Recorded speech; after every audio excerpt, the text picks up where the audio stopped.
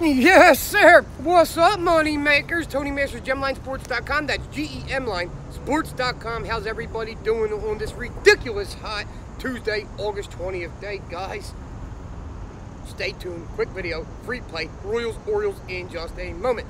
Recap of yesterday, nice, easy, easy winner once again with over eight and a half in the race for your free play. Payline, a much needed two and one, nice winning day.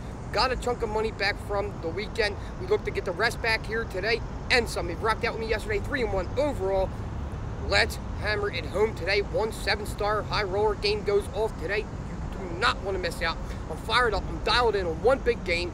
Let's cash today's game. Let's rock out together, have some fun, and put a bunch of money in our pocket and continue our winning ways.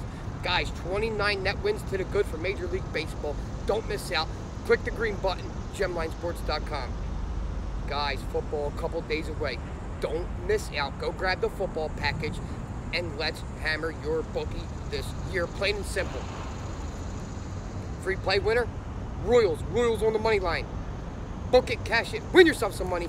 Let's have fun. Seven star high roller. Let's get it today.